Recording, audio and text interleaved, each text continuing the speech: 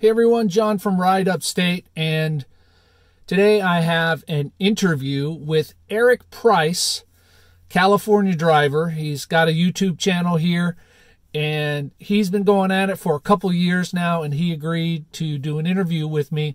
Now, the video you're about to see is actually from a longer interview that's on one of my other podcasts. So if you're interested in some of the other things that we talked about, uh, which include his business, uh, the StateMate, as well as his uh, LDS faith and some of the things that he believes. You can check that out. There'll be a link in the description.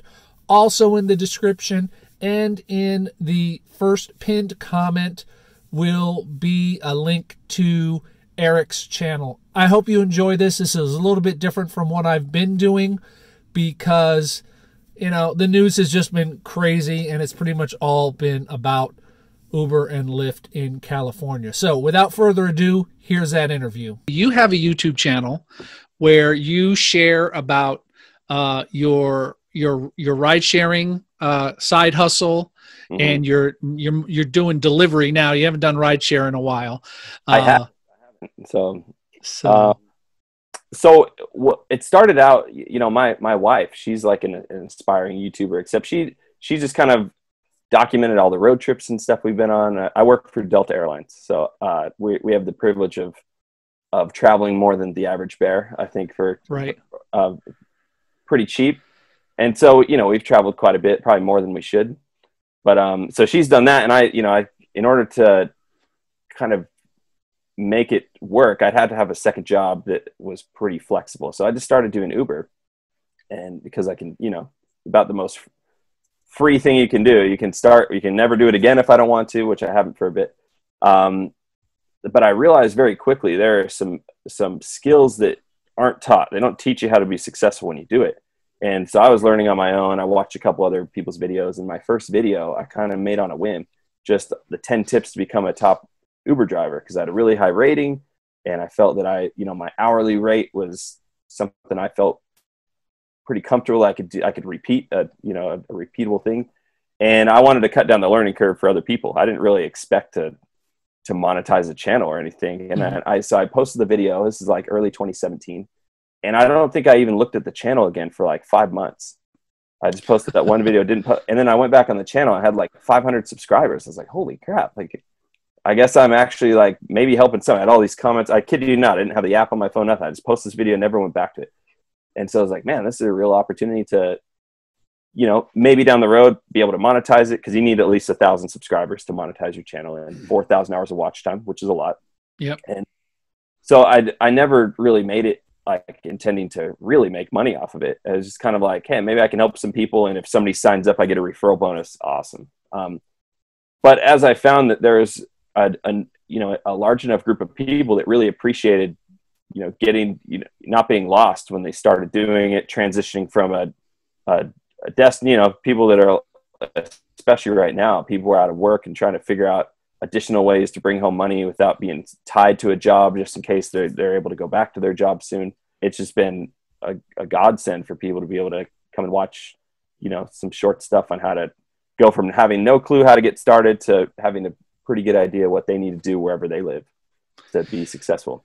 Yeah, you were uh, before I started driving. You were one of the channels that I started watching.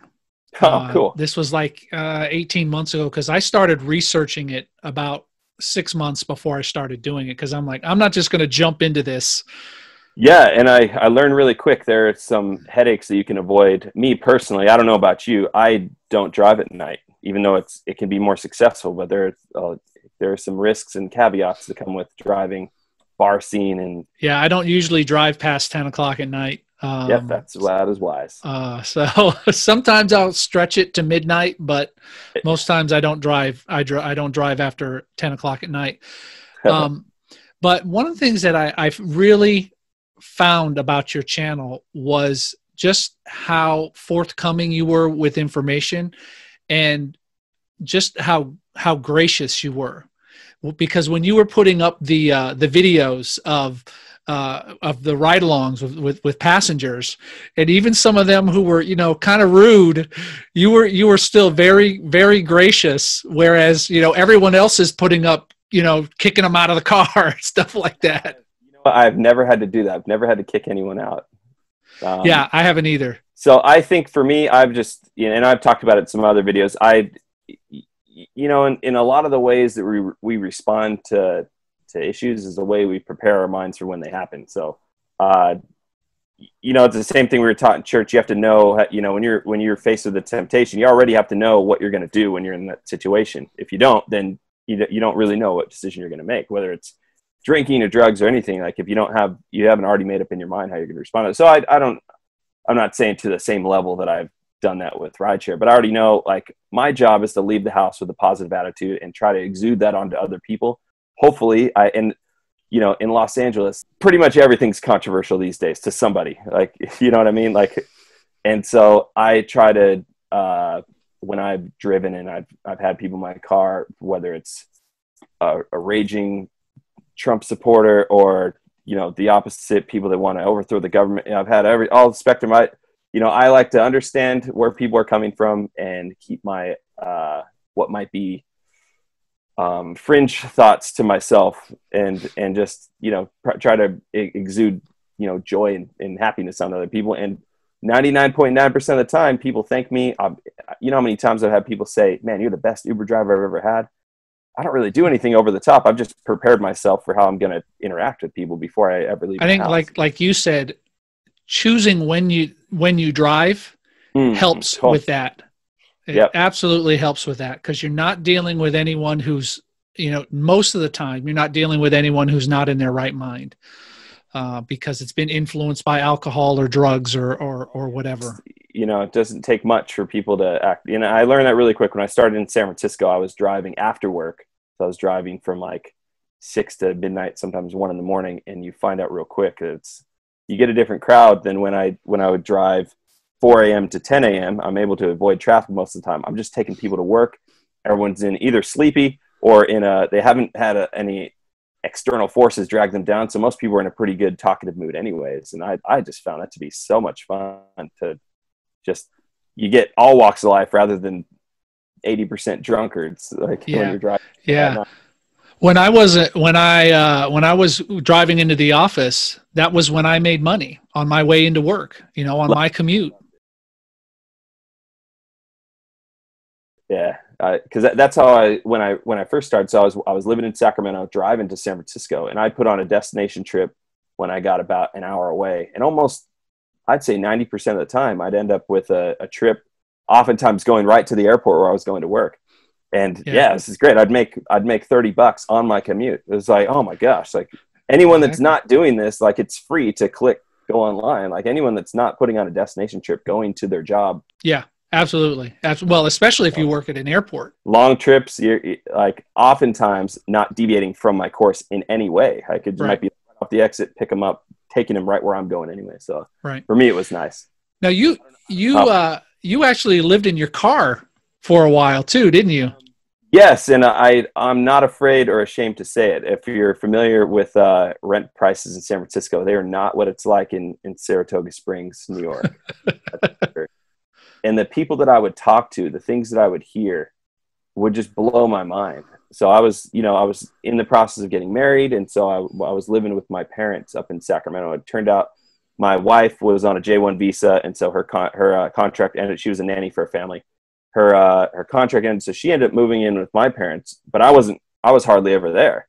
So I'd, I'd come back like two nights a week, but I would, uh, I would drive down to San Francisco, work uh, eight hours, go to bed right away. This is when I finally changed my routine where I wasn't driving at night, and uh, I would uh, I would go to sleep right away after work, wake up, drive eight hours, go to the gym, work out and shower, go back to work, and then go home. So I was doing these two day cycles, and I'm not saying I would recommend it to everyone, but with a Prius, it's on. Uh, hey, when you're when you're on a budget. It wasn't it wasn't awful. It was it was uh, something I'd prefer to never have to do again. But I I wouldn't change to what I did anyway. I saved thousands of dollars doing it. So one of the things that has kept me watching your channel is you always say this might not work for you. This is what works in my market, and so whenever you would share that, I was always thinking, okay, so how's that going to work in my market? Because he's in a lot denser population. He's got yep. a couple airports nearby. Yep. I don't. You know, uh, I don't have nearly the population. Um, most of the people around here own cars. Mm-hmm. Um, so, so I had to think about, all right, how am I going to adapt that to my style of driving in, in my area? And ev- most everyone else on their channels was saying, this is what you need to do to be successful.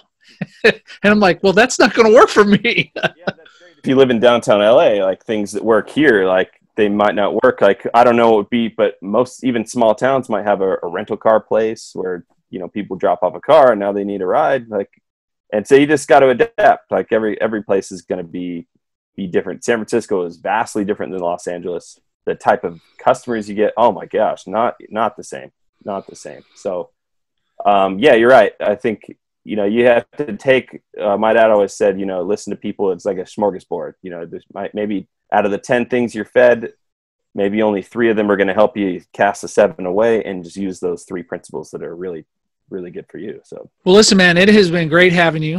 Uh, I appreciate it. Uh, where can people uh, get in touch with you and get some get some socks and get some cards?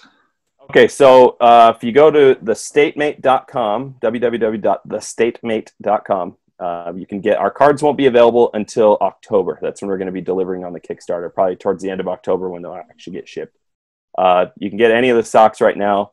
Like in all of my videos, I have a, a code. Uh, it's Uber30, lowercase or capital doesn't matter. Uber30, you get 30% off your whole order. That goes for all our state socks. So some of the other uh, print on demand stuff doesn't follow that because we we uh, outsource that. But all the socks we keep in house.